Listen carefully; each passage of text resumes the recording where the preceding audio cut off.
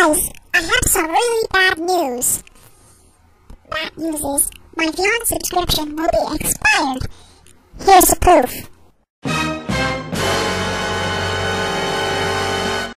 So yeah, guys, I'm not making Vyond videos anymore. Why? Because expires will be May 7th, 2019. What am I going to make Vyond subscription? What am I going to pay Vyond subscription right now?